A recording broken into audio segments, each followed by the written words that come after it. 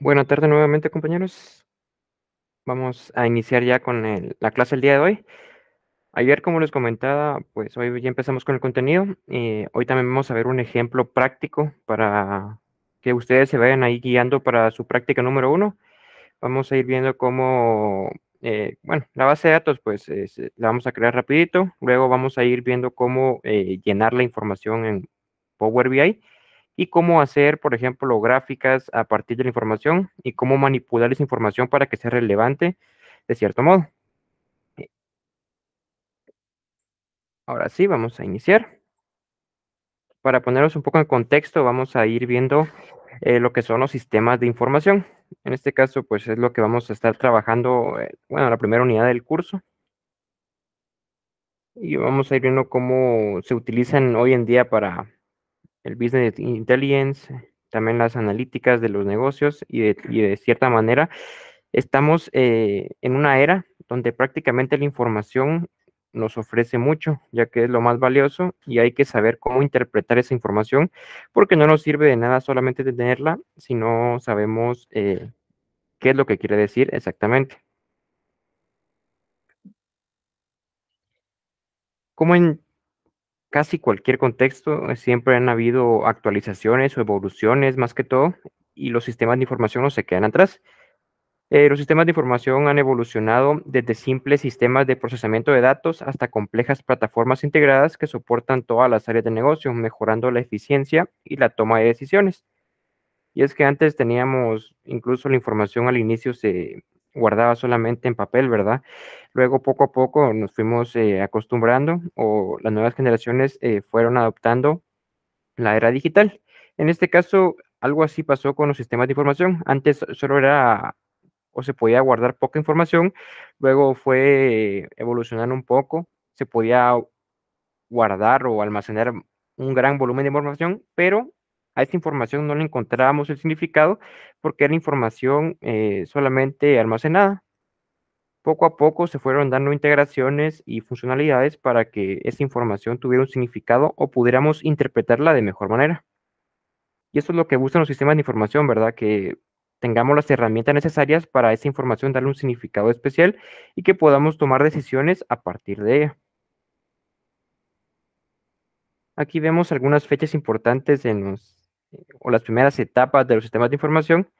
Por ejemplo, en la década de los 70 y 70, eh, en este caso se empezaban a dar sistemas de procesamiento de transacciones. En la década de los 80 se empezaron a dar eh, sistemas de información gerencial. Y ya en, el, en la década de los 90 y hasta ahora, ¿verdad? Se está utilizando el sistema de soporte a las decisiones, porque ahora eh, todas las decisiones o la mayoría de ellas se toman en base a sistemas, ¿verdad? Que nos ofrecen predicciones, por ejemplo, o, también eh, nos ofrecen resultados en base a análisis previos que se han hecho de manera eh, histórica o periódica en este caso. Pero ahora eh, nos encontramos en, en diversas tendencias que hemos visto en los últimos años. Por ejemplo, en los 2000, pues se hizo popular el uso de ERP, CRM, Business Intelligence. En este caso, los ERP son eh, más que todo, eran empresariales. Los CRM nos ayudaban a, con la gestión de los clientes y sus relaciones. Pero en la actualidad eh, hay tendencias como la inteligencia artificial, eh, Big Data, eh, el Internet de las Cosas, IoT, y también Cloud Computing. Cada, cada cierto tiempo se da una tendencia a evolucionar. En este caso, las nuevas tendencias nos indican que eh, los nuevos eh, negocios, por así decirlo, tienen que adaptarse a las nuevas tendencias, si no podrían quedarse atrás, ¿verdad? En este caso, la migración a la nube se está haciendo casi global, ¿verdad? Hay todavía sectores donde no se han animado, pero creo que depende mucho de las necesidades del negocio en sí, porque prácticamente algunos negocios no podrían necesitar una dependencia en la nube, mientras que otras sí. En este caso, la inteligencia artificial, pues, eh, últimamente ha sido tendencia por nuevas herramientas que han salido, que al final de cuentas eh, nos vienen a, más que a reemplazar, de momento nos vienen a ayudar, porque con esta inteligencia artificial podemos automatizar tareas lo cual es bastante eficiente, ya que a veces tareas repetitivas que podría ser, como bien eh, dicen una máquina, las hacemos nosotros, pero con esta inteligencia artificial eh, ese trabajo se hace más eficiente ya que podemos hacer uso de ella y podemos hacer que nuestro trabajo sea eh, menor, ¿verdad? Que la carga disminuya.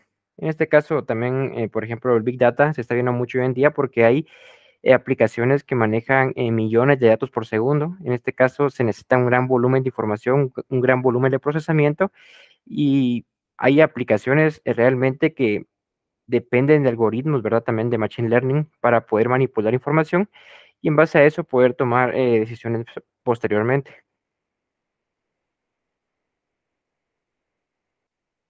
Ahora vamos con un tema importante que es la gestión de los recursos de información. En este caso, Implica la recolección, distribución de datos y conocimientos dentro de la empresa para mejorar eficiencia operativa y la toma de decisiones. En este caso, pues eh, siempre es importante que la información esté segmentada dentro de las empresas, pero también hay que saber o hay que, más que todo, educar a los empleados a que tengan la información necesaria para que la eficiencia operativa mejore dentro de la empresa hay que tener a todos los, por eso es que hay que tener una buena documentación de todo lo que se hace, ¿verdad? Aunque a, pocos de nosotros nos gusta documentar, pero sí es importante al final de cuentas, por ejemplo, eh, cuando van a una empresa nueva y les toca, bueno, si han trabajado desarrolladores, les toca usar, eh, mejorar o cambiar código de otra persona y no está documentado, no hay, no hay mucho al respecto, pues el trabajo se vuelve un poquito más complicado, ¿verdad? Eh, por eso la documentación es importante porque aunque no esté la persona que inicialmente lo trabajó, por así decirlo, hay como bitácoras o hay un respaldo de lo que se quiere o lo que se tenía anteriormente y ya se puede adaptar de una mejor manera. Pero sin una documentación o una gestión de recursos de información, pues eh, se vuelve un poquito más tedioso en ese sentido. Hay algunos componentes clave que podemos mencionar. Solo antes de seguir, no sé si hay alguna duda de momento o vamos bien.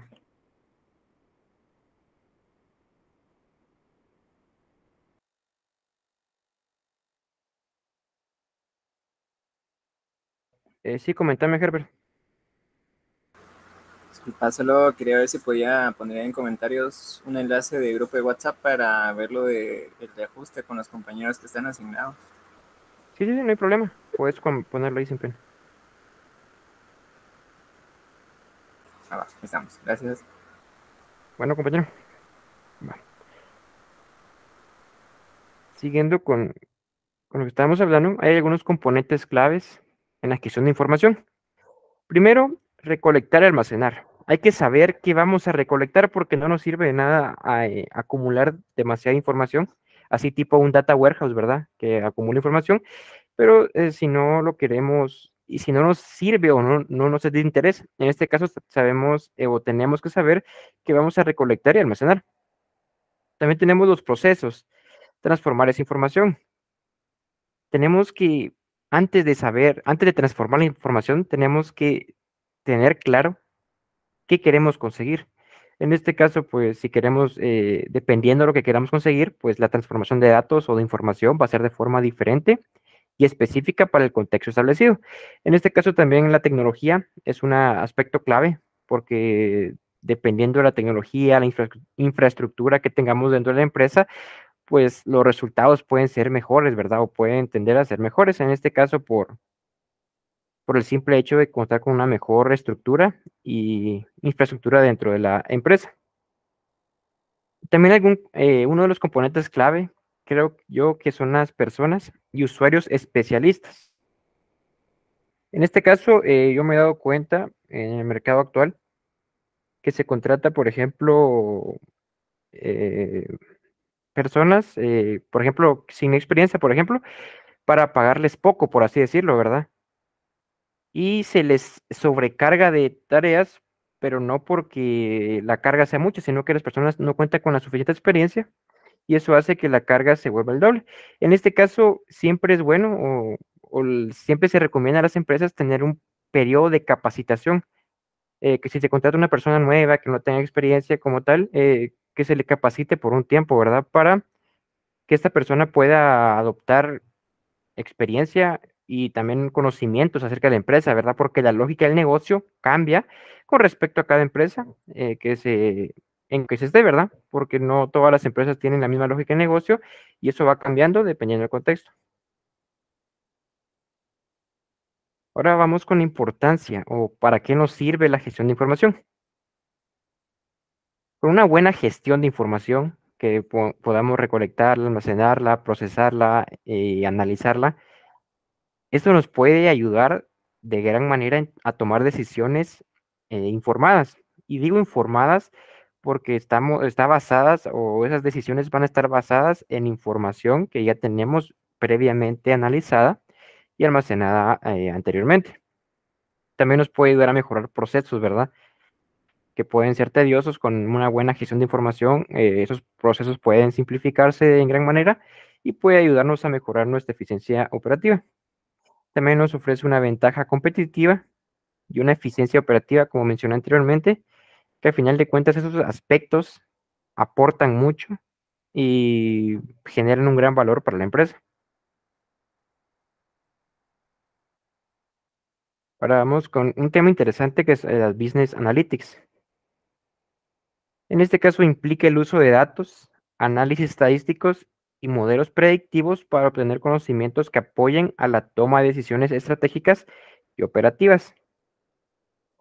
Y eso es un tema que hay que tener eh, mucho cuidado, ¿verdad? Porque sí, eh, obviamente eh, tenemos información, podemos analizarla, podemos hacer análisis predictivos, pero como mencioné anteriormente, hay que tener en cuenta la información que se almacena, porque puede ser que sea mucha información que no nos sirva de nada, solo esté alterando datos o generando anomalías, ¿verdad? En el dataset de datos. Y esto va a afectar al final los resultados, ¿verdad? Entonces tenemos que ver qué información se está almacenando, eh, de qué forma, y si nos es de provecho para poder analizarla, ¿verdad? Y tomarla en cuenta. Por eso antes de hacer un análisis, por así decirlo, siempre se recomienda una fase de limpieza. La limpieza siempre es importante para que podamos eh, tener en cuenta ahí lo que se va a utilizar realmente y lo que no nos sirve, ¿verdad? Porque recordemos que datos incorrectos pueden causar anomalías y que al final de cuentas hagan que los resultados se disparen o sean totalmente alejados de la realidad o de lo que se espera realmente. Ahora sí. Tenemos componentes de Business Analytics. En este caso, siempre hay componentes que prácticamente al final hacen un todo, ¿verdad? Y en este caso hay diferentes análisis que nos pueden ayudar. Primero tenemos el análisis descriptivo, que básicamente va a responder la pregunta ¿qué pasó? En este caso, pues describimos el acontecimiento, describimos lo que está sucediendo, y en este caso, o lo que está pasando, por ejemplo, puede ser una problemática, ¿verdad?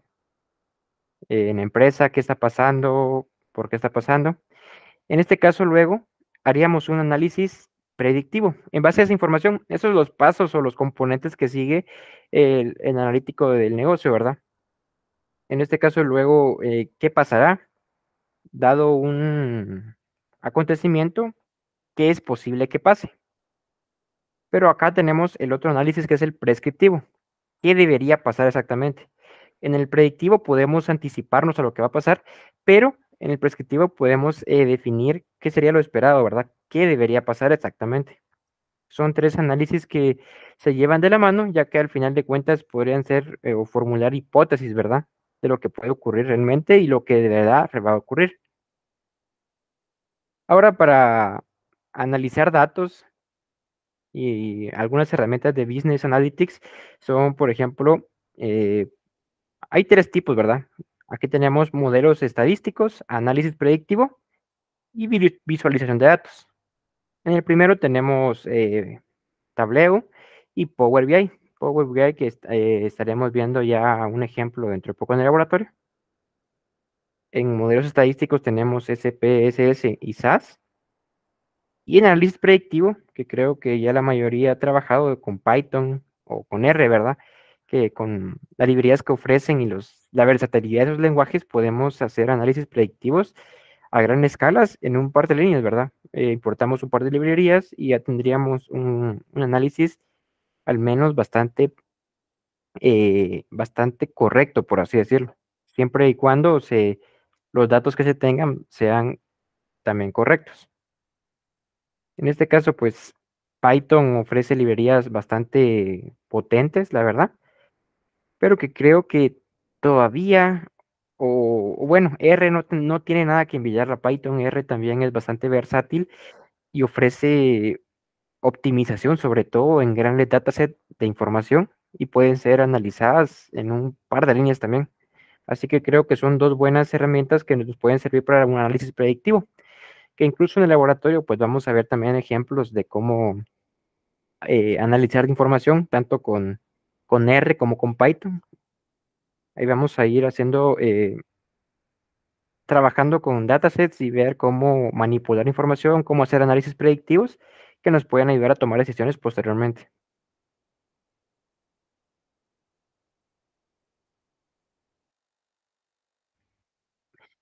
¿En qué momentos o en dónde deberíamos aplicar esto que acabamos de, ver? ¿En qué casos de uso? Primero, en marketing. Y marketing es uno de los aspectos donde más se utiliza porque hay que eh, eh, estudiar el mercado, ¿verdad? No solamente es hacer publicidad ya, sino que hay que ver eh, primero a qué público va enfocado, hay que segmentar, ¿verdad? Aquí dice segmentación, porque hay que ver a qué público va orientado y targeting, porque vamos enfocados a ese público, pero también hay que explorar qué tendencias son las que están experimentando en ese tipo de público, ¿verdad? por ejemplo, si nos vamos a, enfocar en un tipo de, gente, ¿verdad? En específico, por ejemplo, en informáticos, no sé, no sé qué, por ejemplo, informáticos, eh, vamos a ver las tendencias, les vamos a hacer publicidad, por ejemplo, de inteligencia artificial, IoT o temas de interés que les pueden ser de su, de su agrado, ¿verdad? En este caso, por eso hay que el marketing, hay que estudiar bien el mercado antes de hacer la publicidad, porque puede ser que hagamos publicidad, pero que no tenga ningún resultado, porque no se estudió previamente cuáles son las tendencias actuales y no se segmentó el mercado de manera correcta. Otro caso de uso, eh, caso de uso son las ventas, ¿verdad? Porque en las ventas eh, podemos eh, anticiparnos a lo que va a hacer el cliente o a lo que desea, ¿verdad? Podemos ver sus eh, compras anteriores o, qué es lo que se está vendiendo más en el mercado y a esos productos que se están vendiendo más, pues anticiparse a la demanda, ¿verdad? Y generarlos en, de forma masiva para poder generar mejores ganancias, ya que no tendría lógica generar, por ejemplo, productos que sean para el calor, por ejemplo, y ofrecerlos en verano, eh, perdón, en, invierno, ¿verdad? No tendría nada de lógica. Y viceversa, o sea, hay que saber eh, cuáles son las tendencias también en las ventas. Y sobre todo también en las finanzas, ¿verdad? Ya que esto es muy importante porque nos ayuda a evaluar todos los riesgos posibles. Por ejemplo, en inversiones, eh, si nos conviene invertir, si hay mejores alternativas, ya que no todo es, por así decirlo, seguro, ¿verdad? Siempre hay riesgos y por eso hay que experimentar diferentes escenarios. Y esos tres análisis que vimos, pues nos ayudan de, de manera bastante acertada a poder evaluar cada uno de ellos.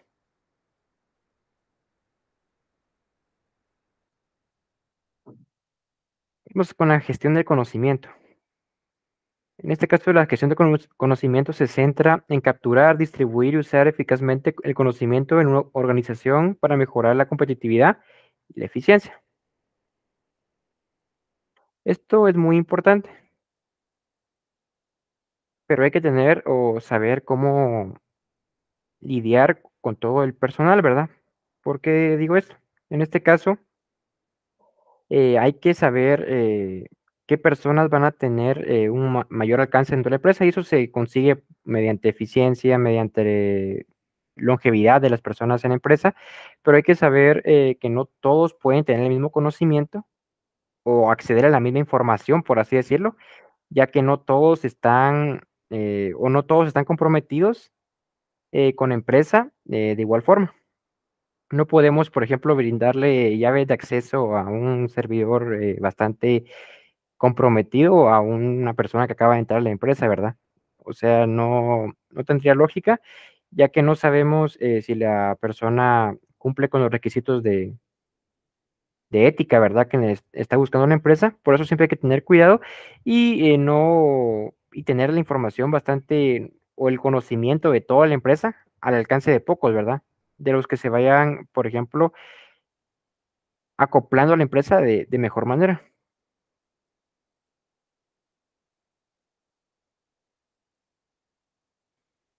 Ahora la cadena de valor del conocimiento. El conocimiento como tal, lo que, todo lo que vayamos aprendiendo, pues siempre genera un valor. Y lo mismo, ah, lo mismo para las empresas, ¿verdad? En este caso, pues,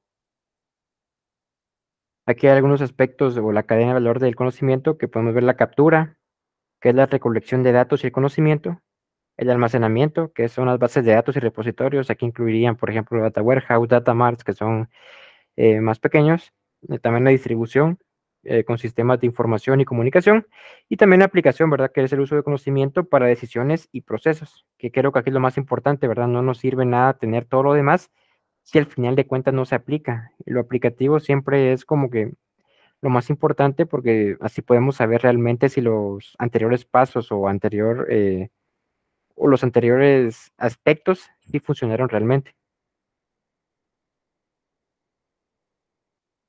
Ahora vamos a ver eh, las tecnologías en la gestión del conocimiento.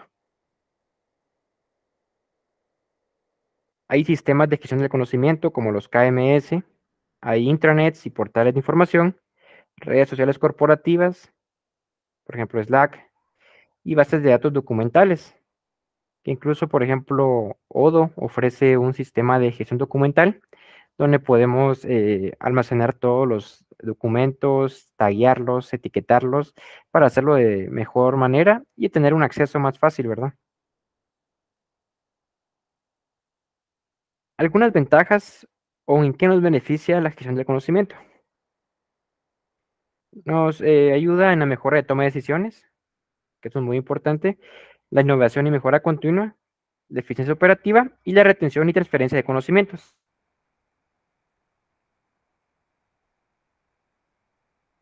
Este último es demasiado importante, ¿verdad? ¿Por qué? Porque eh, cuando un, por ejemplo, alguien se va a ir de la empresa, por así decirlo, que tenga retentiva del conocimiento y pueda trasladarlo a los que están eh, o van a reemplazarlo, es muy importante, ¿verdad? Para que podamos eh, siempre tener esa, ese ciclo, porque si, por ejemplo, una persona no tiene esa retentiva, no guarda el conocimiento y no hay nadie más que lo tenga, sería una pérdida de tiempo, ¿verdad? Porque hay que volver a generar ese conocimiento, volver a entenderlo y sería bastante tedioso en ese sentido.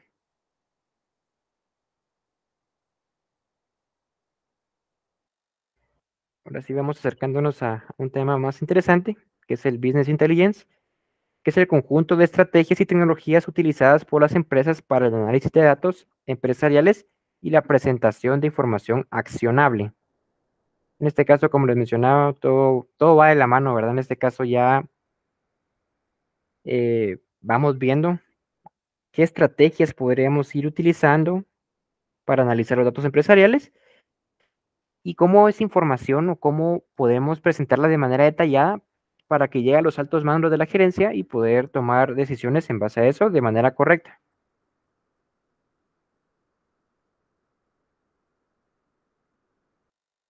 Aquí hay unos datos o componentes de Business Intelligence bastante comunes, digo comunes, ¿verdad? Porque creo que la mayoría ya los conocemos, que es por ejemplo Data Warehousing, que son, es la inclusión o la adopción de Data Warehouse, ¿verdad?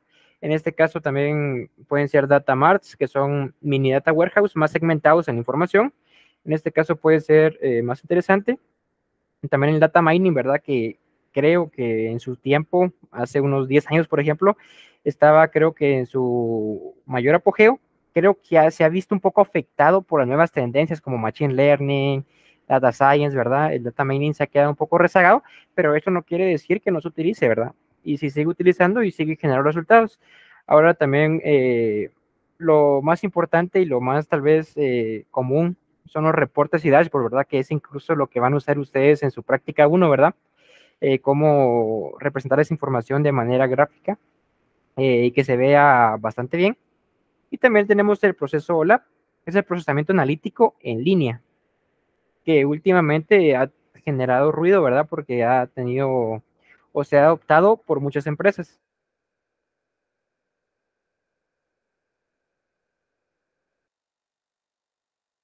Vimos los componentes del Business Intelligence, pero también tenemos procesos dentro de este aspecto.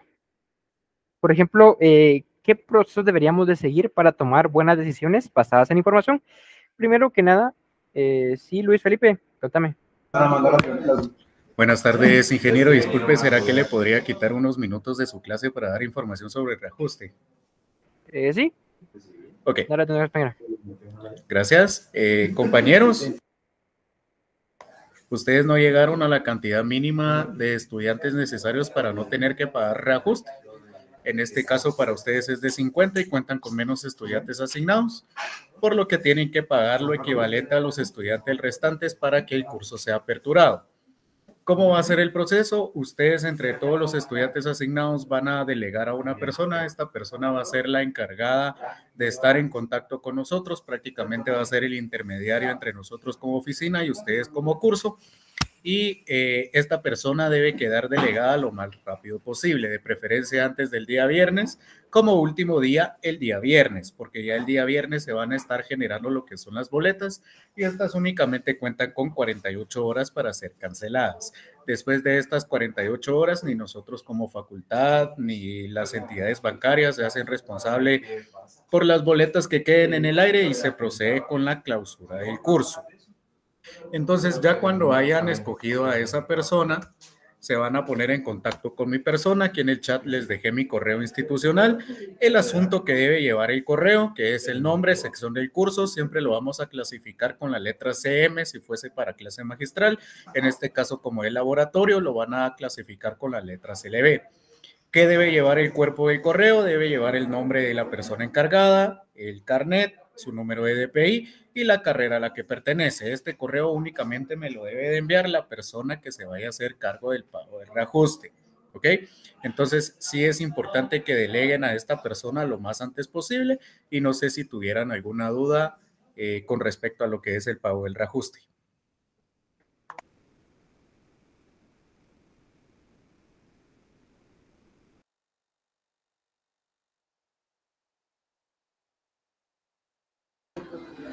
¿No?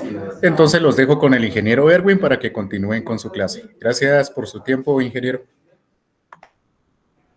No te preocupes. Gracias a vos.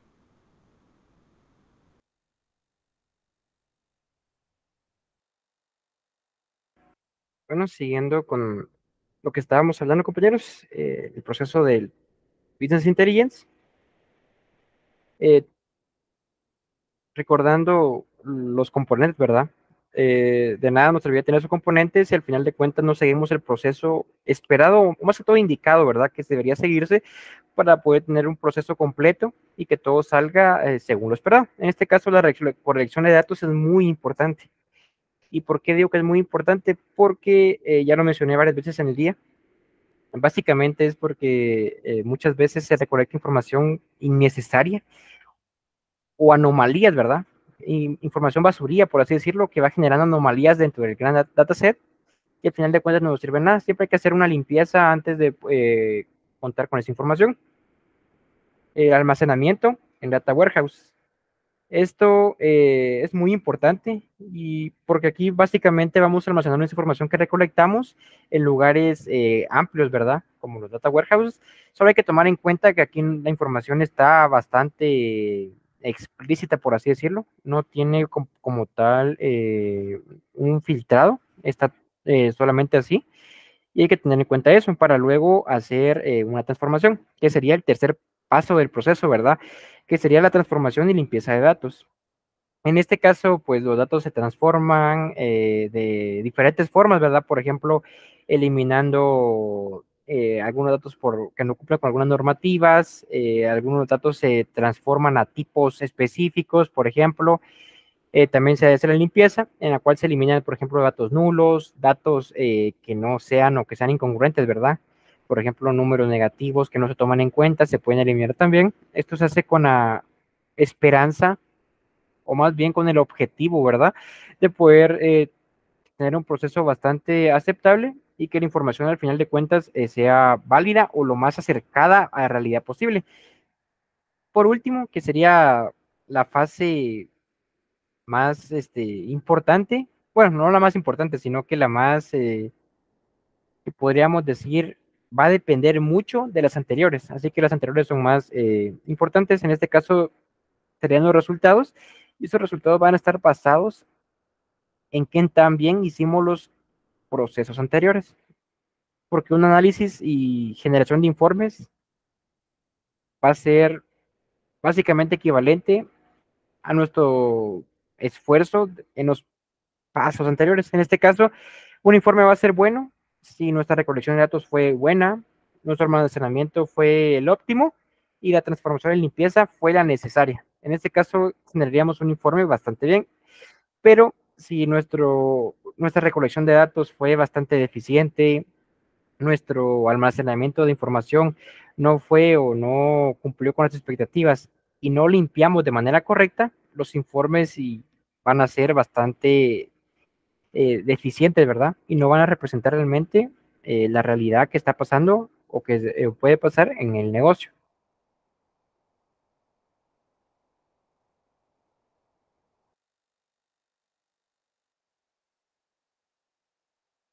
Hay diferentes herramientas que podemos utilizar para Business Intelligence. Intelligence.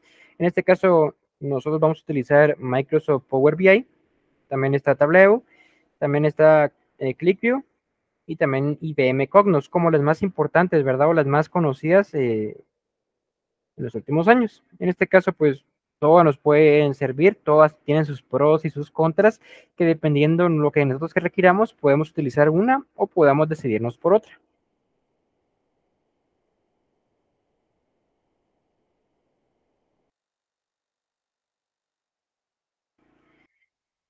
Eh, antes de pasar con, los casos de uso, vamos a retroceder un poco acá.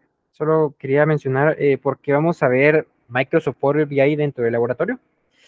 Y lo vamos a ver dentro del laboratorio porque creo que es eh, de las herramientas que antes mencionadas la que más compatibilidad tiene con diferentes aspectos, ¿verdad? Por ejemplo, tiene compatibilidad con distintas bases de datos, distintos formatos de archivos, Excel, CSV, diferentes fuentes de información, eh, Microsoft Power BI ofrece todo eso, ¿verdad? Lo que hace una, una, herramienta bastante completa y que para el laboratorio es bastante provechoso tener una herramienta así, ya que podemos explicarlo de mejor manera y podemos realmente experimentar lo que se usa en la industria, ¿verdad? Porque Power BI sí es bastante utilizado, así que creo que es bastante provechoso tenerlo aquí en el laboratorio.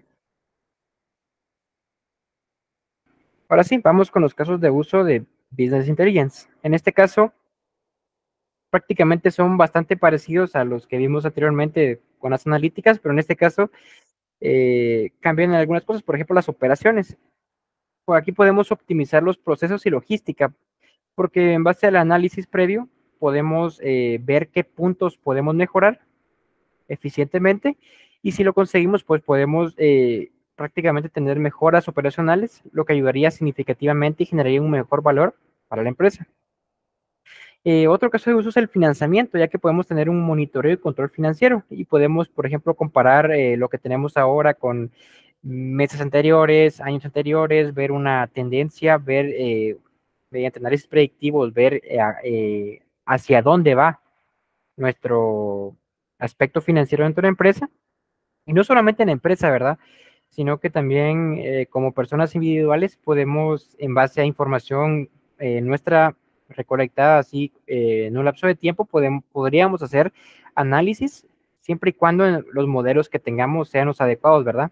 Y, se, y tengamos el conocimiento para poder aplicarlos y obtener los resultados que estemos buscando. Y otro, en este caso, el caso de uso que prácticamente se repite porque de verdad nos ayuda bastante son las ventas y marketing como un caso de uso bastante conocido hoy en día. Ahora sí, eh, tenemos eh, una comparativa de herramientas de BI. En este caso, tenemos eh, Microsoft Power BI con Tableau. En funcionalidades, me parece, o comparando estas dos herramientas, Tableau me parece un poquito más intuitivo, por así decirlo, está tal vez mejor optimizada la, pestaña o la pantalla, ¿verdad?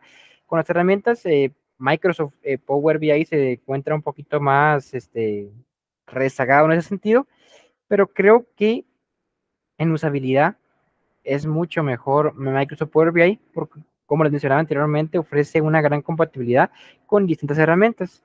Así que creo que en este caso, eh, para cosas más sencillas, tal vez Tableau está bien, pero ya para algo más gerencial, algo más importante, eh, me parece que Microsoft Power BI es la mejor opción. No sé si alguno de ustedes ha tenido la oportunidad de trabajar con alguna de estas herramientas, que pudiera comentar ahí por el chat, abrir su micrófono, que pudiera comentar su experiencia. Yo personalmente he trabajado con ambas. Creo que sí, Tableau tiene como un poco más de limitantes. Un Power BI creo que tiene un poco más de alcance. Pero también he trabajado con otra herramienta que se llama IDEA, que sí es para análisis predictivo y es muy, muy buena. Eh, pero obviamente creo que ya es como para bases de datos más financieras quizá y da muy buenos resultados. Gracias por tu aporte, Walter. Sí, cabal, eh, Power BI suele tener más alcance. Y esa herramienta que mencionabas no la había escuchado. Eh, ¿Cómo dijiste que se llama? idea es de una casa de software que se llama Cascadeware y está certificada por, digo, es más financiero por el Colegio de Auditores Mundial, algo así. Pero es increíble, por ejemplo, cómo detecta fallas en, en datasets, por ejemplo, de facturación, cómo encuentra patrones de, de evasión de impuestos y ese tipo de cosas. Ah, qué genial, no lo había escuchado. Voy a, darle una ojeada más al rato. Gracias ahí por la información, Walter. Siguiendo, compañeros.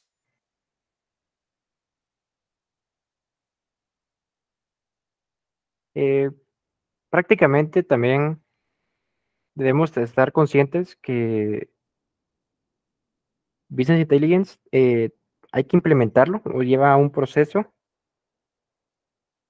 Ahí te coloqué, Eliezer, en el chat, ¿cómo se llamaba la...?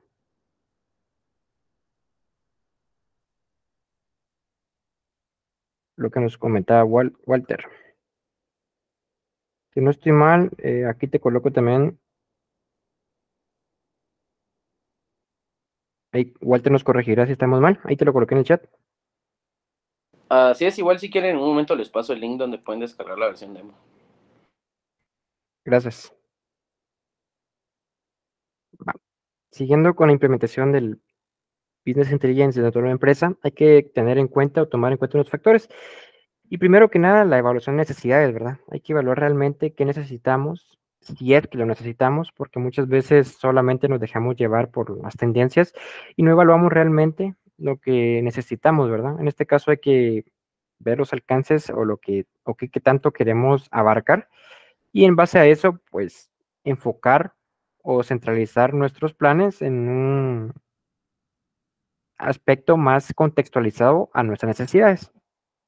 También hay, lo, creo que lo más importante, ¿verdad? Saber qué herramientas vamos a utilizar, dependiendo de la lógica de nuestro negocio. Por ejemplo, como mencionaba Walter, eh, en este caso que si nuestra empresa fuera bastante enfocado a temas financieros, la herramienta IDEA podría ser bastante usable, ¿verdad?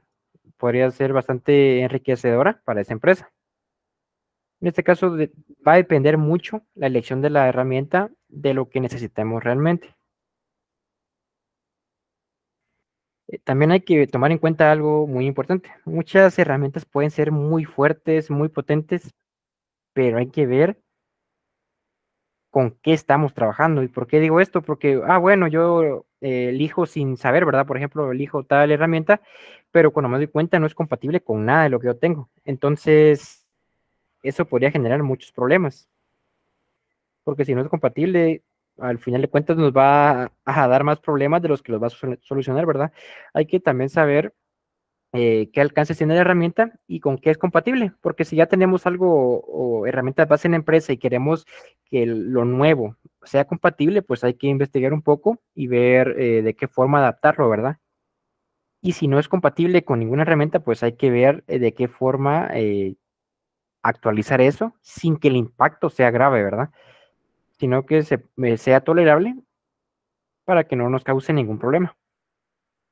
Y también eh, algo muy importante es la capacitación del personal.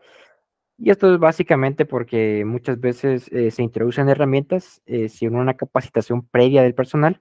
Esto causa que la curva de aprendizaje crezca porque muchas veces las herramientas tal vez no son difíciles de utilizar, pero al no tener un periodo de aprendizaje, vamos aprendiendo, por ejemplo, a usar la herramienta, así solamente lo que nos va interesando, ¿verdad? Por ejemplo, les comento una experiencia, yo el lenguaje Golang, por ejemplo, eh, no lo aprendí muy bien, por así decirlo, eh, cuando lo empecé a usar.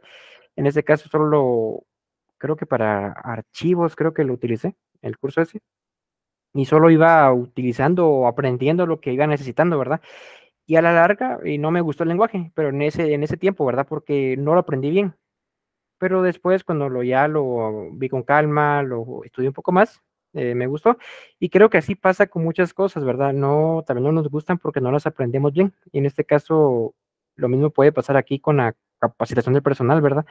Que si no entienden las herramientas, la curva de aprendizaje crece, ¿verdad? Hay que tener un espacio para que puedan aprenderlas de mejor manera. Y esto aplica para cualquier aspecto, ¿verdad? Para que no nos vaya a afectar eh, de manera negativa más adelante. Y algunos beneficios del Business Intelligence como ya lo vimos, la mejor toma de decisiones. Esto creo que nos va a ayudar significativamente a las empresas, les ayuda a tomar mejores decisiones, porque son decisiones informadas, ¿verdad? Que están respaldadas por información y análisis previos que se realizaron en la empresa. Una mayor eficiencia operativa, una ventaja competitiva y una visualización intuitiva de datos.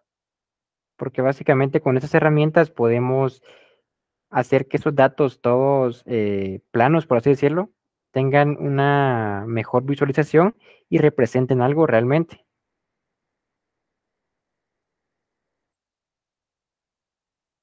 Ahora ya casi acabando con la teoría del día de hoy, vamos al futuro, ¿verdad? A lo que nos espera en los próximos años en los sistemas de información. En este caso, pues la inteligencia artificial y machine learning se están robando el escenario, están abarcando mucho terreno y creo que están eh, en el auge, tal vez, porque muchas personas que no conocen mucho del tema le tienen miedo, por ejemplo, a la inteligencia artificial. Eh, y es normal porque el humano tiende a tenerle miedo a lo desconocido, pero eh, cuando nos ponemos a investigar un poco más y interactuar con las herramientas, podemos darnos cuenta de que en vez de ser una amenaza, es una ayuda. Básicamente nos ayuda de, de gran manera.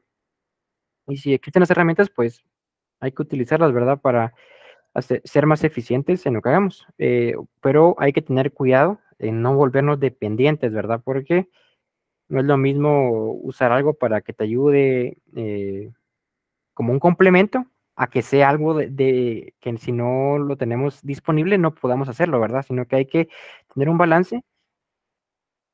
Ahí compartió el enlace, Walter, gracias.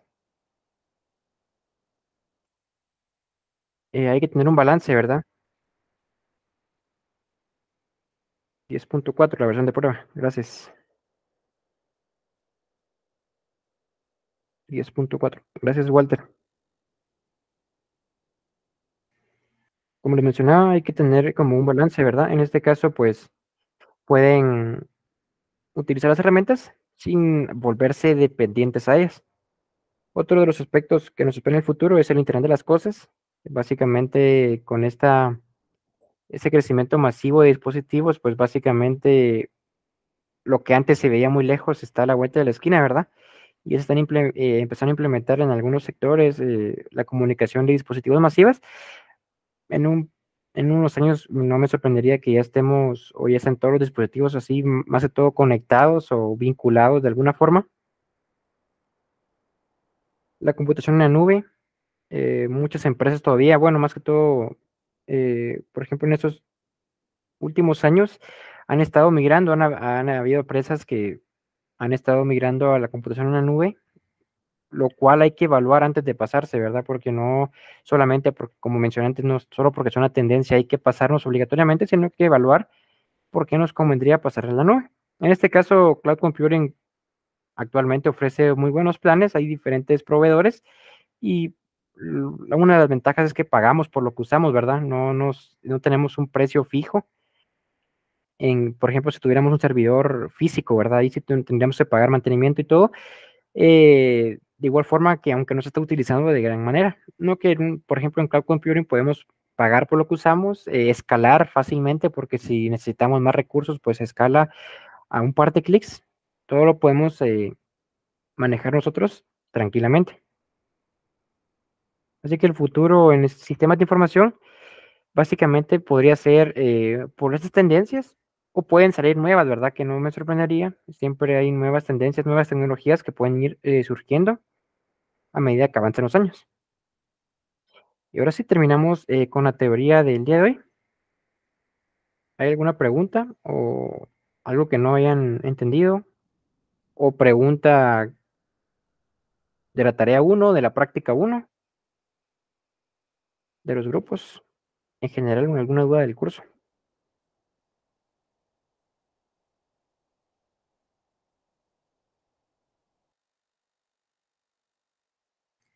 Yo tengo planeado eh, el ejemplo de hoy, darlo entre hoy y mañana, porque va a ser bastante larguito para que veamos eh, cómo cargar la base de datos a Power BI, cómo implementar gráficas, cómo hacer ya, por ejemplo, hacer gráficas eh, conectando dos tablas, por ejemplo, que se vea todo así bastante, o que el ejemplo sea bastante provechoso para ustedes. En este caso, pues el ejemplo va a ser segmentado una parte hoy y una parte mañana. Así que si no hay dudas, pues vamos a empezar ya con, con el ejemplo. Vamos a hacerlo todo basado en la práctica, ¿verdad? La práctica 1. Así que, ¿subiré la presentación? Sí, Sí, la voy a subir. De hecho, nomás terminamos la clase y la voy a subir.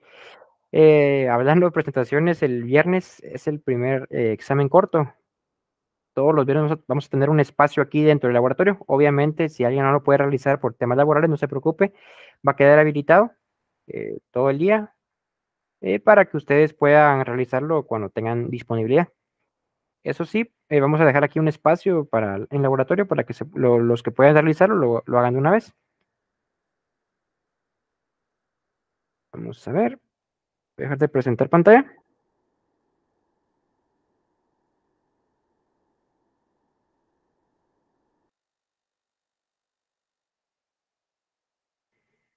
Y ahora les presento nuevamente.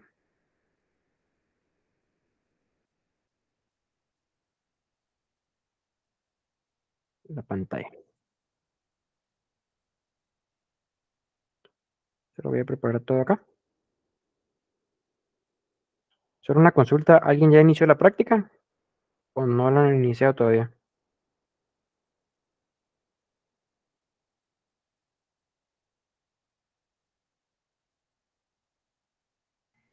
No, va. Creo que con lo que veamos hoy, creo que les va a servir de ayuda y ya van a poder eh, encaminarla. Recuerden que al final de cuentas, cada grupo va a tener su propio ideal, ¿verdad? Va a ver qué evaluar. Al final de cuentas son como propuestas, ¿verdad? Ustedes van a hacer el análisis de datos y ya van a dar conclusiones. La calificación de la práctica 1 va a ser el día lunes. Voy a... Vamos a ver los horarios para calificar el día lunes. Ahorita presento pantalla.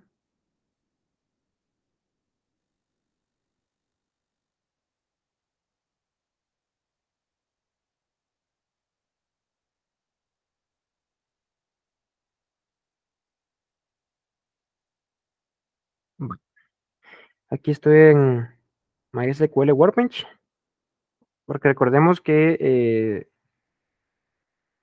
ustedes pueden utilizar tanto MySQL o SQL Server o cualquier base de datos relacional eh, para su práctica 1. En este caso yo voy a usar MySQL, ya que es bastante eh, fácil su implementación con Power BI. Ustedes pueden utilizarlo también o la base de datos que ustedes quieran. Recordemos que yo les compartí un par de archivos. Ahí en, ya están en Wedi, se los subí en un RAR. No sé si alguien ya los bajó que me pudiera confirmar que sí se pudieron, o si se pueden, si son los archivos correctos, ¿verdad? Yo creo que sí lo subí, pero igual cualquier eh, anomalía con algún archivo me comenta. En este caso, pues vamos a ir, empezar, lo primero es empezando a crear nuestra base de datos, ¿verdad? En este caso, pues le podemos poner el nombre que queramos y podemos ir llenando las tablas de manera eh, rápida. En este caso, aquí tengo los archivos yo a la mano. Entonces voy a ir creando las tablas eh, en base a los archivos. Solo voy a abrir los tres archivos, por tenerlos acá, y empezar a crear las tablas.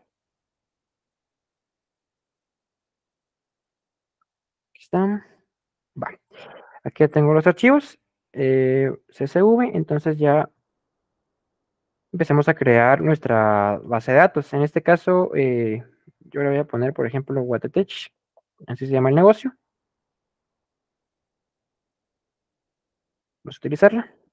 Ahora, eh, aquí para crear la base de datos, no hay una receta o algo específico. Aquí no se va a evaluar como tal, si tienen 10 tablas, tienen una tabla.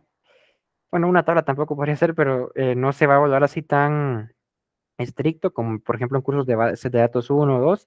Creo que aquí lo más importante es, al final de cuentas, el resultado, ¿verdad? Y el análisis que ustedes hagan también, las conclusiones que tengan. Así que la base de datos no se preocupen cuántas eh, tablas le salgan. La verdad no, no hace falta.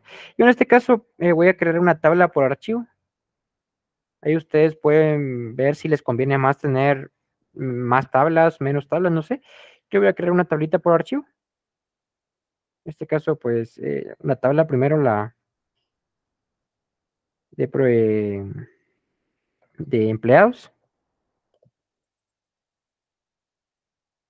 En este caso, ¿qué va a recibir esta tabla? Eh, el ID, ¿verdad? Porque si se dan cuenta, en el archivo viene el ID del empleado Vamos a poner que va a ser un begin.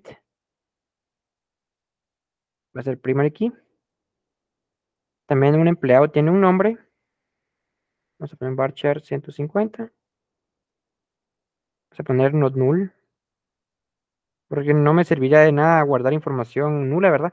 Aquí ustedes, eh, si encuentran algún error en el archivo, me van comentando, ¿verdad? Yo, la verdad, no, no vi bien a profundidad los archivos. Entonces, si hay algún error, me lo comentan y lo vamos viendo. Eh, la edad. Big int. Not null. Eh, título. Varchar 150 también. En este caso eh, hay que tomar en cuenta datos nulos. Ahí miran ustedes si hay nulos, pues si los eliminan o no. Yo les recomendaría que si hay nulos, por ejemplo, o datos incongruentes que los eliminen. O incluso si dejan así, por ejemplo, con esas restricciones su base de datos, pues les va a dar error, ¿verdad? No les va a dejar meter datos, así que ahí pueden ir viendo cómo limpiar la información. Y para cargar la información tampoco hay restricción, pueden cargarla desde acá, desde MySQL Workbench, pueden generar un script en Python que lo cargue, o, como ustedes prefieran, ¿verdad? Ya luego vamos a cargar, eh, a importar la información a Power BI. Fecha de contratación. En este caso vamos a dejarlo como date. Ojalá no dé problema. La productividad diaria. Productivity. Vamos a dejarlo como un begin. Y las horas trabajadas de cada empleado. Hay algunos que tienen decimal, vamos a dejar como decimal. Not null. Ya terminó hasta acá. Y ya está. Aquí va a estar mi tabla de empleados. Eh, vamos a crear otra tabla. En este caso va a ser eh, la tabla de productos, ¿verdad? Pero aquí, si se dan cuenta, viendo el archivo, eh, los productos tienen valores de venta, ¿verdad? Cuánta cantidad se vendió, cuánta dinero ganado y todo eso, ¿verdad? Entonces, le voy a poner product sales de nombre de la tabla.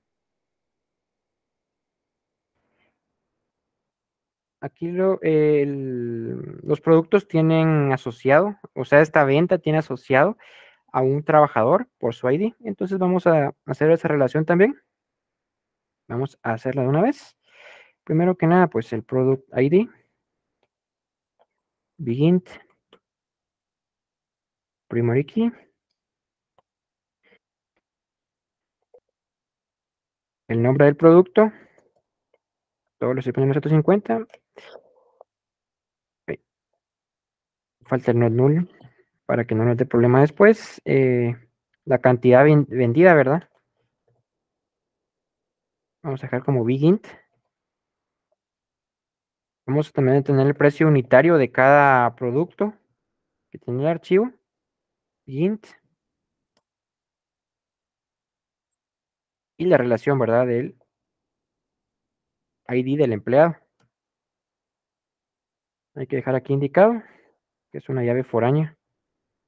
Foreign key. Así está bien escrito. Va a ser employee ID. Que hace referencia a mi tabla de empleado, ¿verdad? En este caso, la, la tabla de empleado en su propiedad employee ID. Vamos a hacer que se eliminen en cascada, por si se elimina un padre, que se eliminen todos los hijos. Cerramos acá. Vamos a dejar aquí un espacio más, que se mire más ordenadito.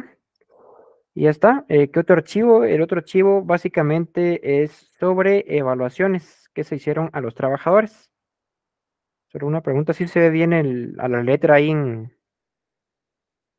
en la pantalla, o la hago más grande, no sé. Yo creo que se mira bien, pero no sé si la ven bien ustedes.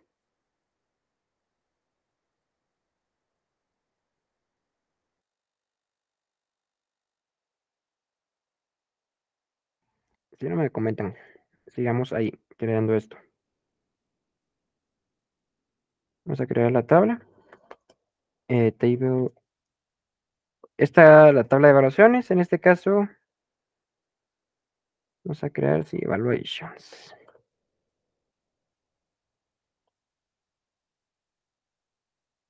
Vamos a tener esto, va a tener el ID del empleado también. Begin. Va a ser una primary key.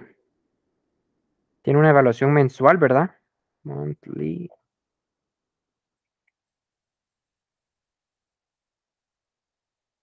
Esa no es primary key, esta va a ser decimal porque no es entero como tal. Y una Evaluación anual.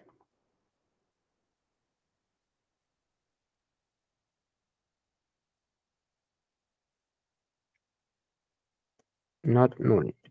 Y aquí solamente hace falta indicar, eh, en minúscula, indicar la referencia del empleado, ¿verdad? Con su propiedad employee ID.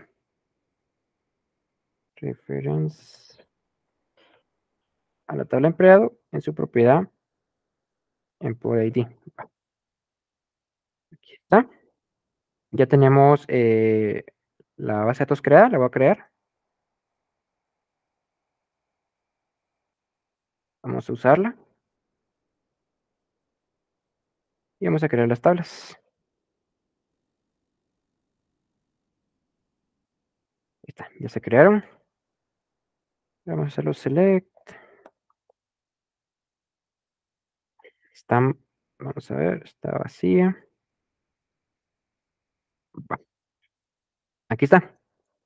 Ahora sí, vamos a, voy a presentar pantalla completa para que vayamos ya viendo todo el proceso con Microsoft Power BI. Ahora que ya tenemos la información en nuestra base de datos. Bueno, falta cargar la verdad, pero ahorita les presento.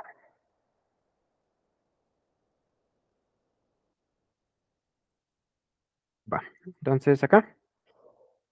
Para cargar la información, pues voy a usar esta herramienta. Eh, vamos a poner ejemplo aquí el archivo empleados. Ay, lo que hay que hacer. Ah, tengo que cambiar los nombres. Mm -mm. Lo voy a dejar en español de una vez. No me percaté de eso.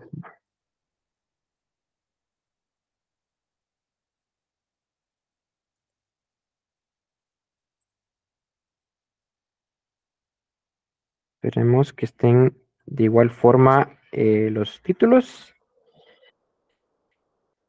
Eh, productivity.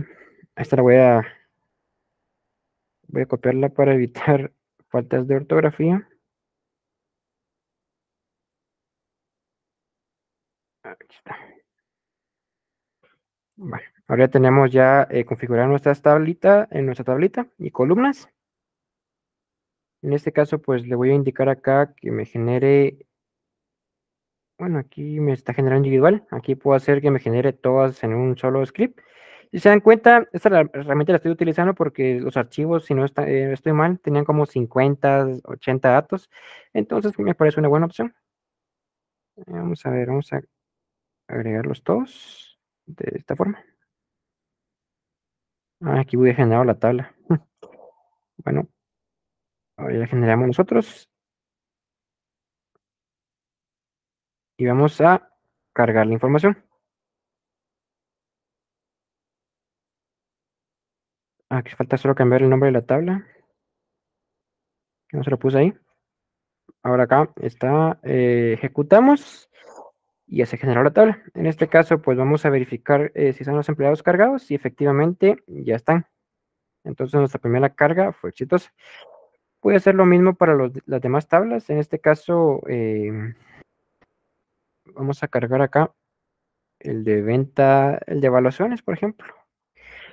Evaluaciones. Que es Employee ID. Monthly Evaluation y Annual Evaluation. Va. ¿Cómo le pusimos de nombre a la tabla? Evaluations. Va. Entonces acá, nombre de la tabla, acá está. Y vamos a agregarlo. Ojalá estén los ID, porque si no hay un ID de empleados, sí va a dar error. Pero vamos a, ojalá estén todos.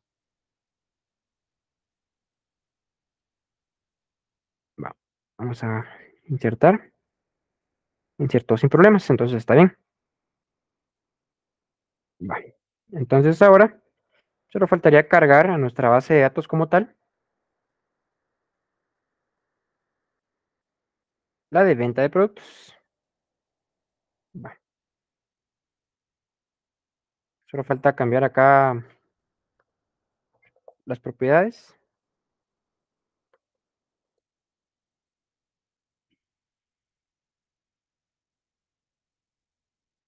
price. No, recuerdo si le puse sale o sales. Vamos a verificar. Total.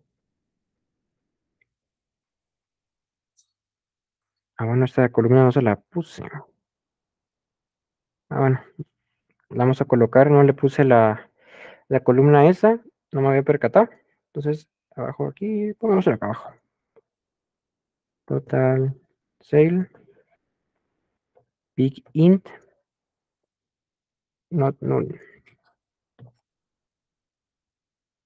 Bueno, vamos a hacer un alter. Bueno, mejor de una vez el, el drop.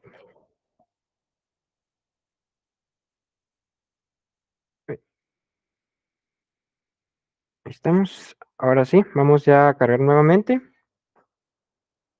Total 6 y le puse con... Ah, no, le puse solo con, la E.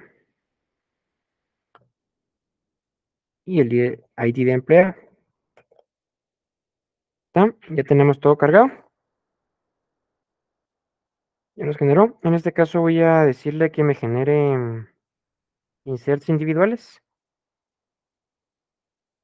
Obviamente aquí como no estoy haciéndolo así con calma, no estoy viendo la información si está limpio o qué, pero por lo que estaba viendo no hay datos nulos, ¿verdad? Entonces creo que estamos bien.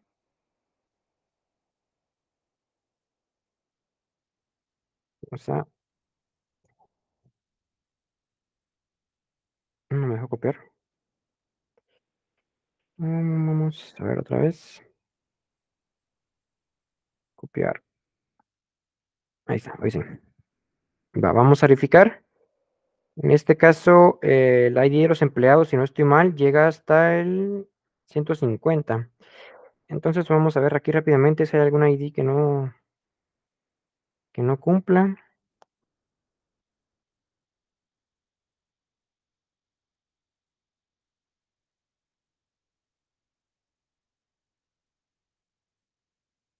No este del 100. No hay ID 100. Solo hay ID 101, si no estoy mal. Sí, hay 101, entonces vamos a borrar este. dicen, aquí por ejemplo hay un error, va a dar error. Vamos a borrarlo de una vez. Ah, ah, es que sí recordaba que habían algunos eh, datos acá incongruentes. Recordaba que eran nulos, ¿verdad? Pero al parecer no son nulos, sino que son IDs que no están. En este caso, ¿cuál otro? Vamos a ver.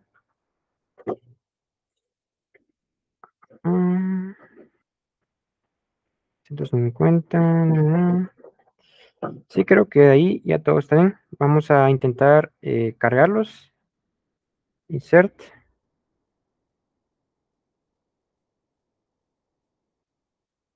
Solo que no le he cambiado el nombre de la tabla. Ah, ah.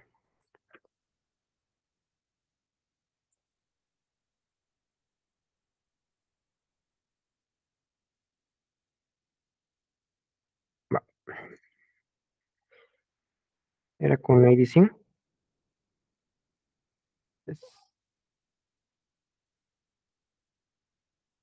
Eh, sí, si quieren tomar un auto increment, eh, está bien, no hay ningún problema.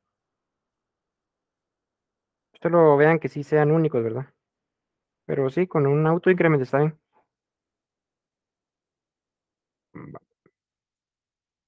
Así ni recuerdo en cuál estaba.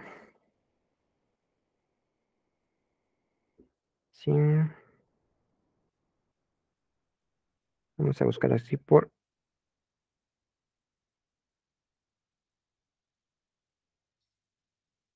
Aquí está. Este era. Bueno, este ID 245, 248 también hay que eliminarlos, van a dar error. Los voy a eliminar. Y lo demás, me parece que está, bueno, vamos a ver.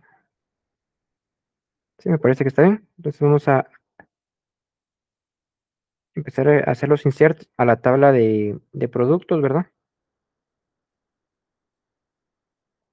Vamos que se hagan. Y ahí está. Ahora sí, ya está cargada nuestra información.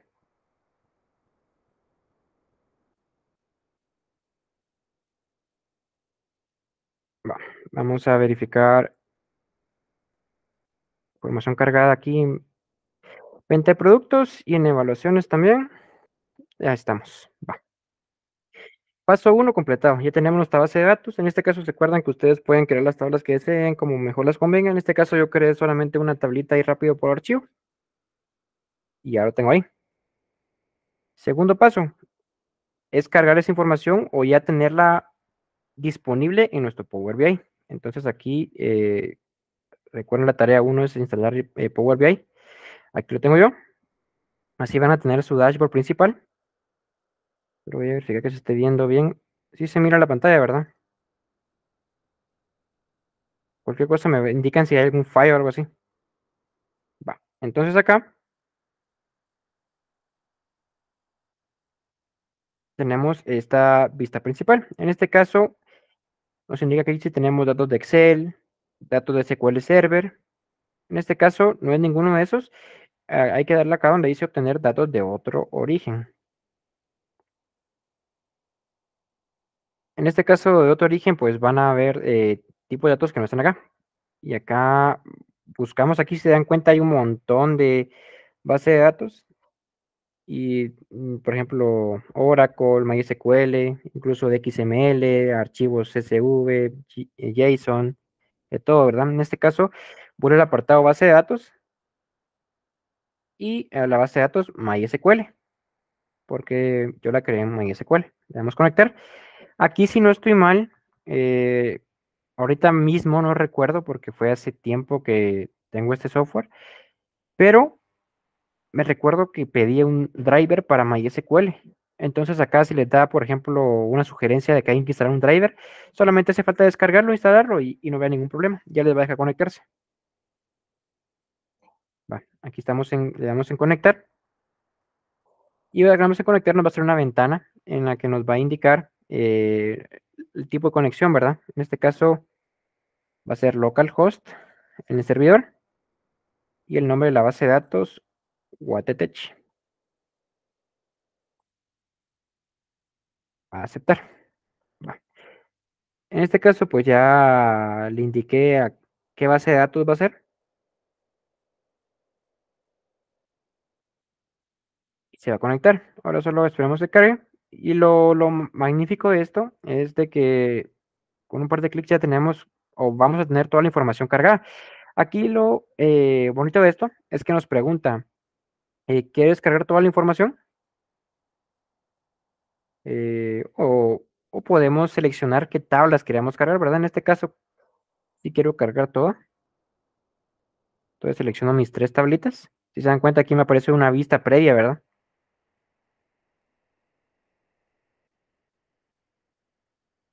Una vista previa de los datos.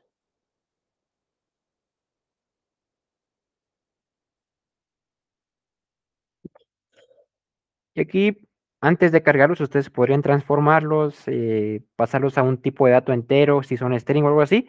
En este caso, pues como ya vienen limpios de mi base de datos, pues no hace falta, pero si tuvieran algún dataset, algo sucio o algo así, aquí podrían transformar la información en este botón de transformar datos. Si no, le damos cargar.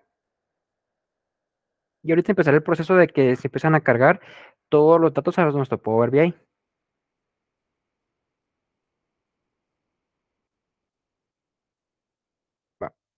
Esperamos se cargue.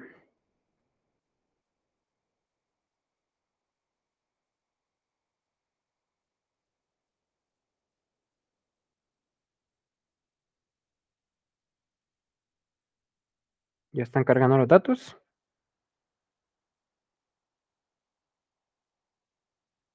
Ahí está. Nos indica que ya se cargaron, en este caso, las, los datos, ¿verdad?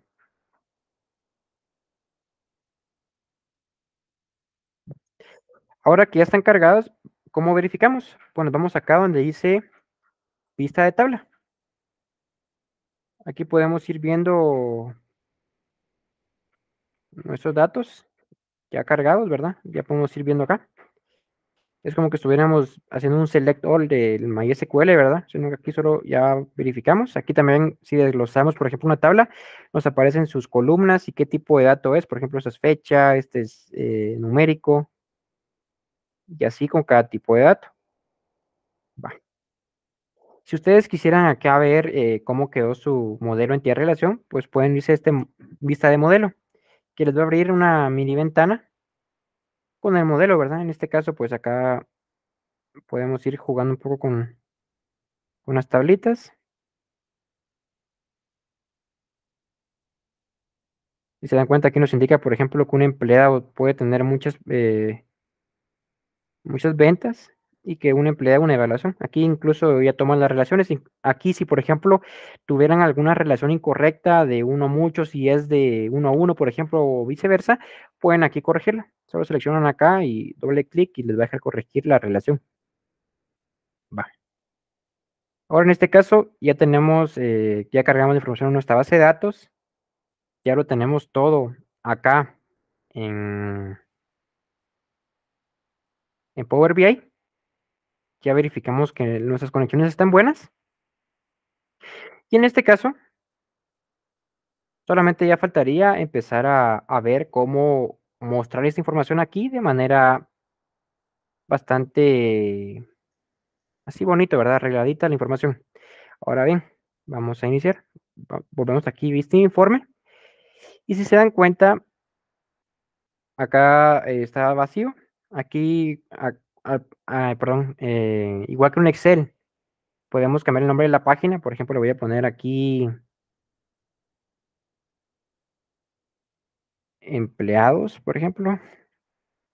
Aquí puedo seleccionar algún tipo de gráfica. Por ejemplo, quiero ese tipo de gráfica de barras, por ejemplo. Me aparece acá. Si se dan cuenta, aparece todo gris, porque básicamente no tenemos nada.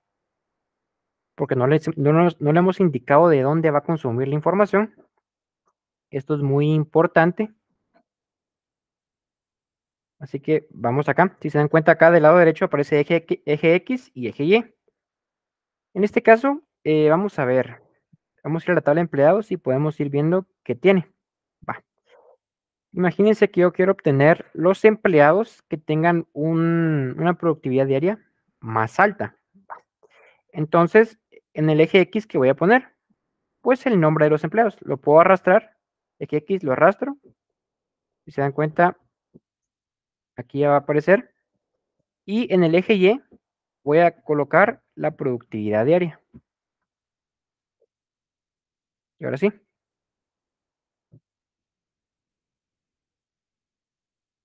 Pues un poquito de zoom. Bueno, voy a cambiar de gráfica, ese no me gustó. Ah, bueno.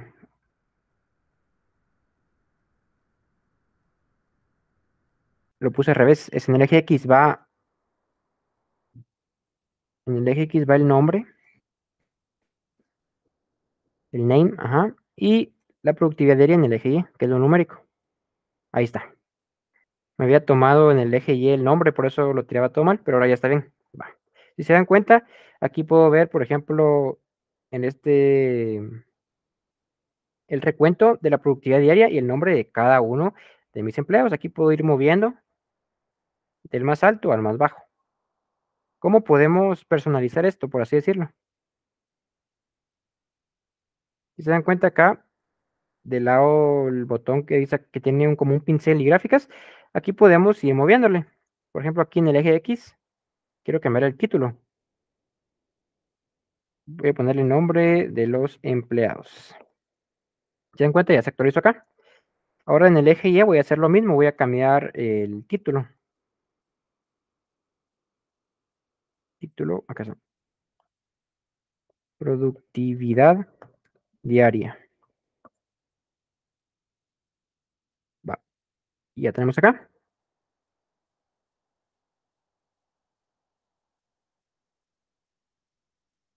Le vamos a cambiar también...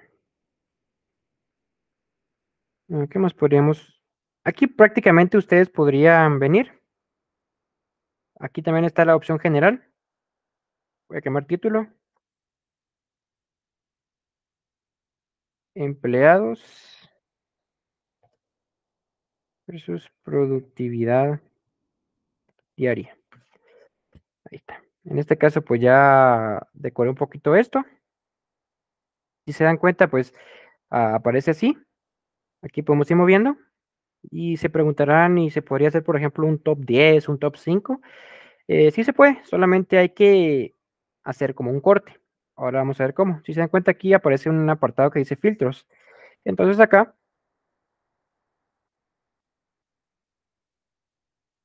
Vamos a ir viendo acá. Filtros. Y vamos a eh, indicarle. Bueno, en este caso.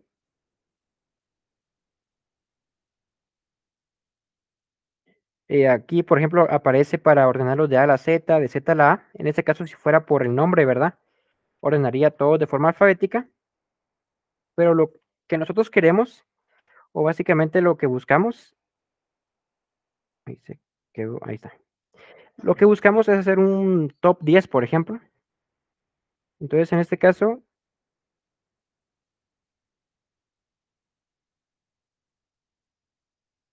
a la propiedad de Daily Productivity, le vamos a dar, bueno, en este caso es menor, aquí podemos, si se dan cuenta, es menor que, es mayor que, por ejemplo, mayor que, y aquí le podemos indicar incluso, por ejemplo, mayor que 80, por ejemplo. Aplicamos filtro y solo me van a aparecer, por ejemplo, los que tienen arriba de 80. Por ejemplo, eso es un filtro, ¿verdad? Menor que también se puede. Menor que 80, aplicar filtro. Van a aparecer 78, de ahí para abajo, ¿verdad? 70. Y aquí podemos ir jugando con los filtros. Ahora vamos aquí a borrar filtro.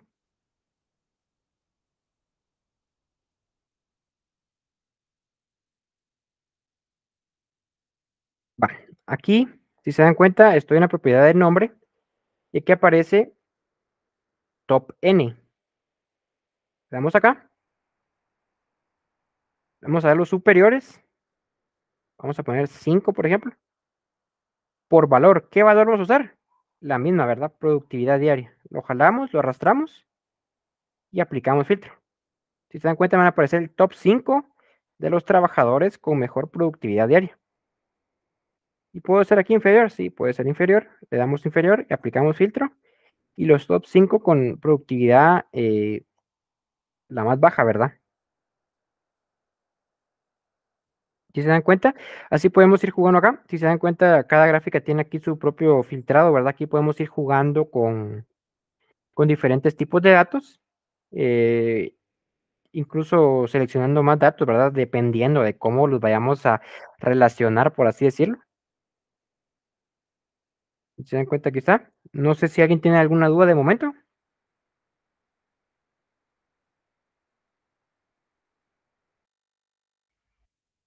¿Qué tal ven? Eh, esto básicamente es lo que tienen que hacer ustedes en su, en su práctica, solo o obviamente en su práctica.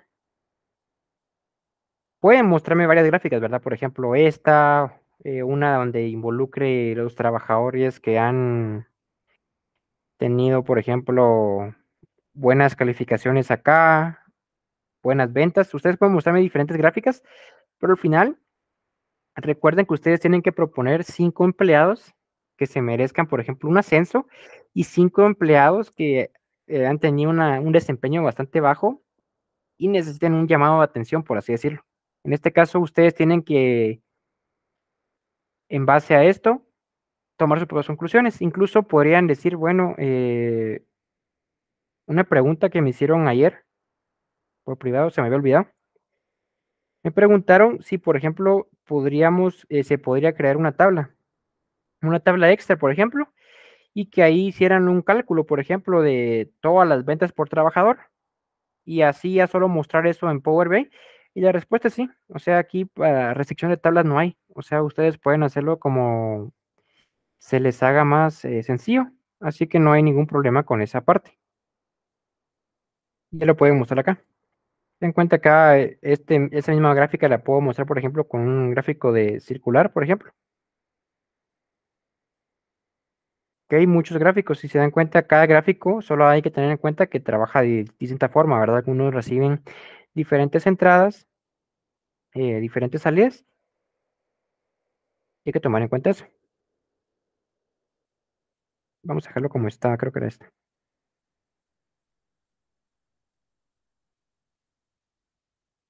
Va.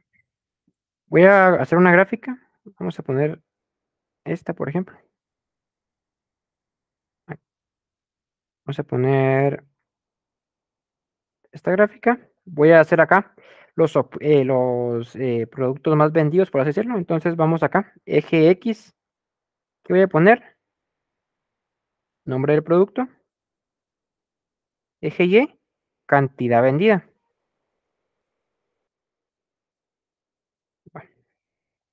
Entonces acá vamos a cambiarle un poco el estilo, ¿verdad?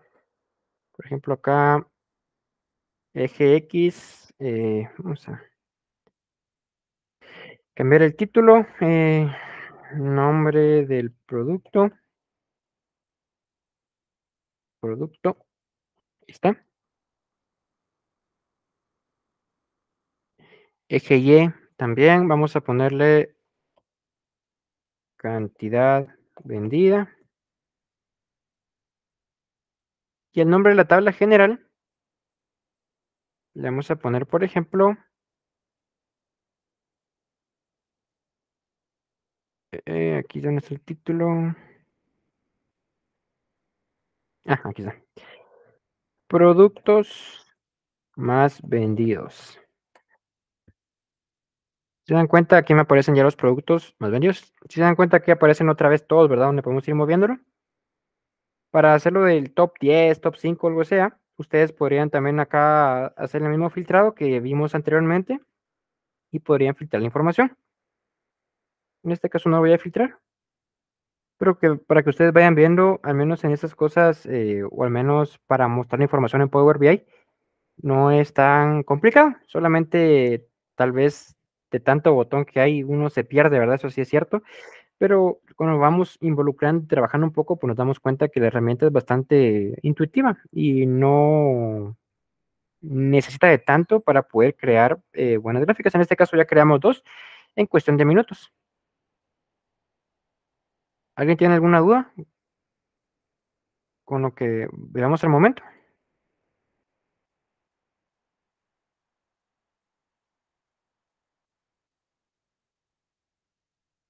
A ver. Todo claro. Ah, nítido, me alegro. Va. ¿Y por qué no hacemos una, una gráfica más compleja, verdad? Para que les quede ahí de ejemplo. Solo Vamos a ver dónde se cambiaba de color. Mm, aquí, color. Vamos a ponerle un amarillo. Está. Color. Va. Hacerla más pequeña. También esta. Eh, esta que es un top. Top 5. La vamos a de. Bueno, los más bajos vamos a dejar superior acá. Ahí. Es superior. Aplicar filtro. Ahí está. Lo vamos a dejar acá como eh, un gráfico circular. Este de acá. Y ahorita vamos a hacer algo eh, un poquito más complejo. Se dan cuenta, aquí hemos productos más vendidos, pero ambos eh, aspectos estaban en la misma tabla, ¿verdad? Ambas columnas. ¿Qué pasaría si quisiéramos mezclar o que ustedes quieran involucrar dos tablas, por así decirlo? Pues eh, básicamente también es posible. Solamente hay que tener eh, en mente o claro que vamos a, a realizar, ¿verdad? En este caso, ¿qué podríamos hacer? Por ejemplo,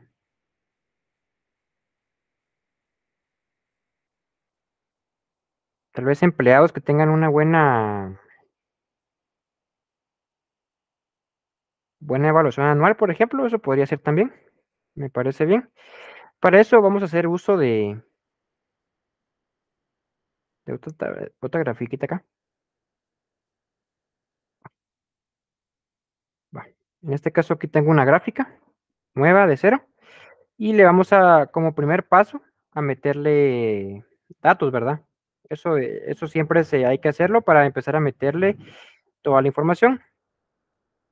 En este caso, pues, de empleado, sí, vamos a hacer empleado. Entonces acá, vamos acá a...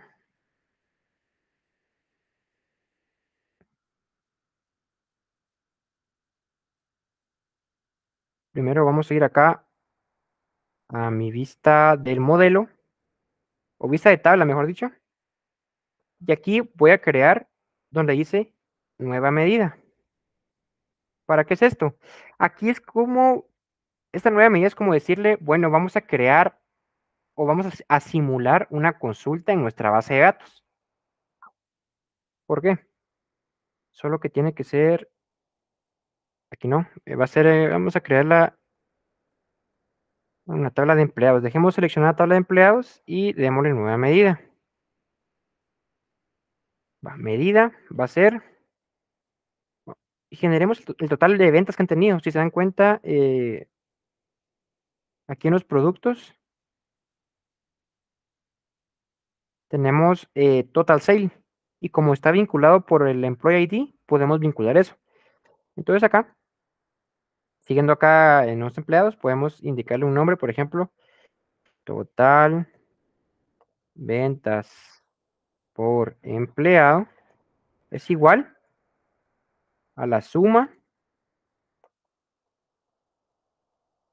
aquí me aparece the ¿Qué tabla quiero seleccionar? En este caso quiero seleccionar eh, la tabla de, ventas, Product Sales, en su eh, columna Product Sale. ¿Dónde está Product Sale? Bueno, Product Sales. Total Sale, acá está. Si se dan cuenta, indico en qué base de datos, en qué tabla y en qué columna. Si se dan cuenta, me, Power BI me lo autocompletó, ¿verdad? Así que no hizo falta escribirlo todo. Se dan cuenta, le vamos a dar Enter. Y si se dan cuenta, me creó, por así decirlo, acá, otro apartado, ¿eh? En mi eh, tabla columnas, perdón, en mi tabla de empleados, me creó otro apartado que dice total ventas por empleado. Entonces yo podría venir acá otra vez a mi informe, nombre eh, del empleado, en el eje X, nombre, total de ventas por empleado. Y vamos a ver, dice que Linda Miller es la que más tiene ventas con un total de 81.900. Pero eh, aquí no tenemos cómo comprobar eh, la información. Así que vamos a verificarla. O sin, bueno, o sea, en teoría está bien, pero vamos a verificar en la base de datos si es correcto, ¿verdad? Entonces hagamos aquí su similar en una consulta, porque no tenemos otra forma de comprobarlo, a menos que contemos ahí uno por uno, ¿verdad? Pero, pero no sería el chiste. En este caso podríamos crear una consulta.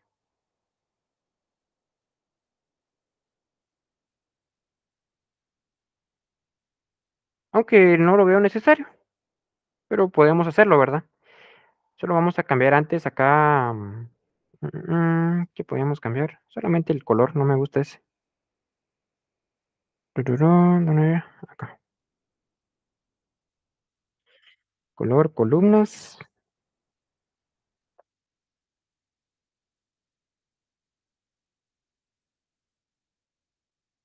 Columnas, ¿qué color le ponemos? Mm, anaranjado este. Sí, está ahí. Vamos a cambiar el nombre. Este archivo se lo voy a compartir, así que se lo voy a dejar bastante, al menos ordenado, ¿verdad? Eje X. Nombre de empleado. Lo que sí no estoy seguro es si eh, Power BI eh, permite permite, ¿cómo se llama? Eh, abrir archivos de otra versión. No sé qué versión descargaron ustedes, pero yo esta versión la tengo hace ratito ya. Entonces no sé si lo que yo genero aquí se lo, lo pueden abrir ustedes, ¿verdad? Si no, pues con que miren la grabación ya estaría, pueden replicar lo que hicimos acá. Como les digo, aquí solo que ir jugando con las columnas, ¿verdad? Que vayamos teniendo. Va, nombre de empleado, ya está. Vamos al eje Y. Yo espero que sí les deje abrirlo, ¿verdad? Pero si no... No me aparece el título acá. Ah, aquí está. Título. Ventas. Y general, título. Total de ventas por empleado. Aquí podríamos igual segmentarlo por un top, por ejemplo. Vamos a hacer la consulta solo para verificar.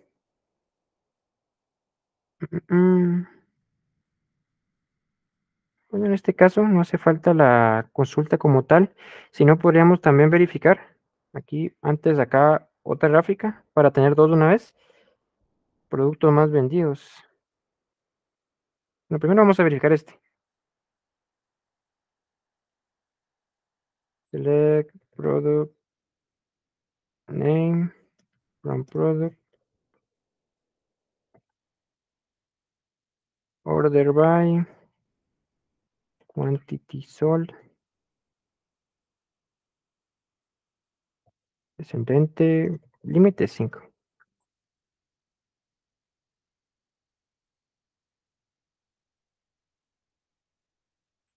eh, what from product ah es que se llama product sales la, la tabla esta va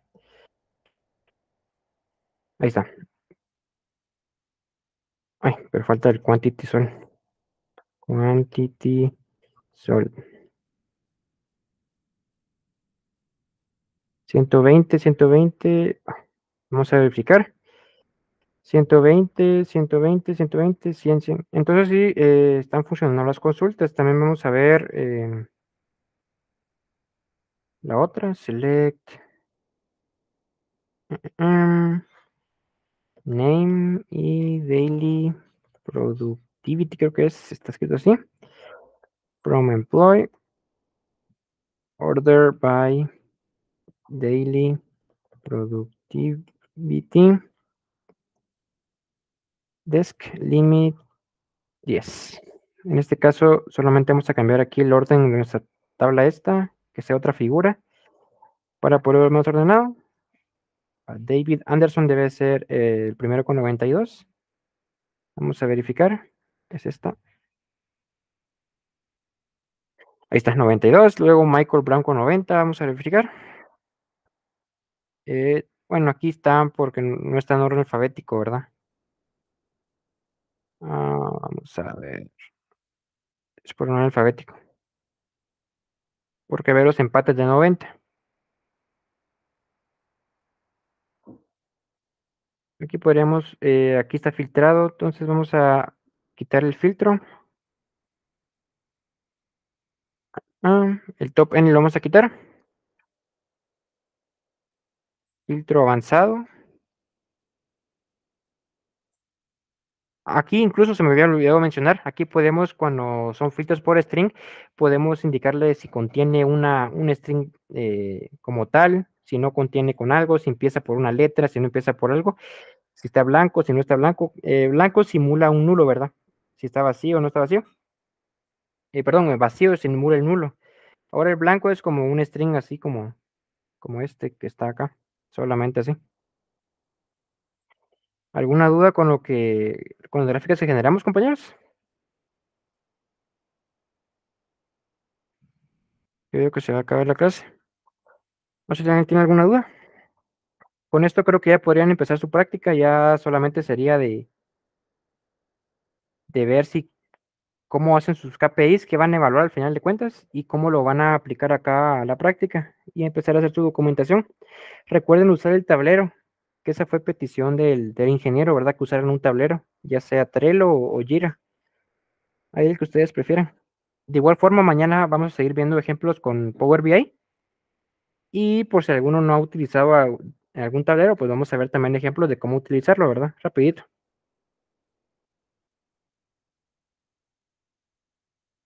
Si no hay dudas, pues compañeros, eh, sería la clase del día de hoy. La B tiene que ser local para la práctica. Sí, local, no hace falta que sea que sea en la nube, porque si te das cuenta, no es, no es, no es como que tengan miles de datos, sino que son 50, 80. Rapidito, la levantas acá, local. Ahora, si quieres hacerla en la nube, pues no hay problema, ¿verdad? O creo que tal vez te referías a la nube porque como son tres, ¿verdad? Para tener la misma base de datos todos, pero ahí sería buena idea también. Aunque que tengan el mismo script, ¿verdad? No hace falta que la creen en la nube. Ahí como ustedes prefieran.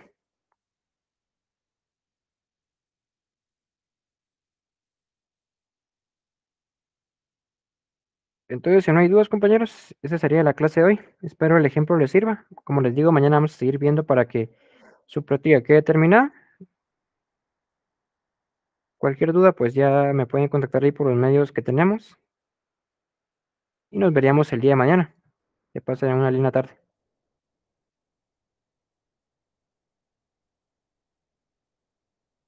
Feliz tarde, compañeros.